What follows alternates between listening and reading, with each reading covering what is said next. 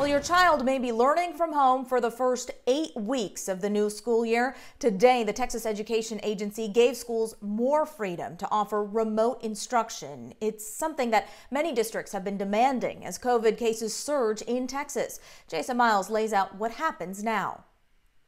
A number of districts already decided to do online only learning for the first few weeks, knowing today's announcement was coming. Basically, for districts choosing to do so, they can go fully remote for the first four weeks of school and extend that to the first eight weeks with a TEA waiver. But in person classes must be available to students without access to technology or other issues.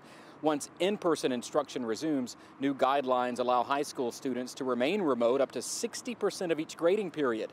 This change in course by the TEA is something districts called for after a rise in COVID cases, especially in urban areas like Houston.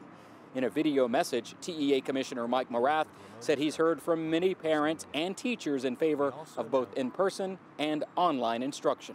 Our framework ensures that there will be on-campus instruction available for all students who need it in the state of Texas. But at the same time, we know we need to provide local schools flexibility to adapt to local health conditions, especially given the rise in COVID cases that we're seeing across the state. While these are guidelines, it's important to remember that districts risk losing state funding if they don't comply with certain things. Fort Bend ISD, for instance, decided this week to do online learning indefinitely. The superintendent telling me the district could appeal to the TEA down the road if needed. Now, I got a chance to speak with Commissioner Morath myself this afternoon. I'll have more from that conversation, plus why some say this doesn't go far enough. That's coming up at 5 and 6. For now, we'll send it back to you.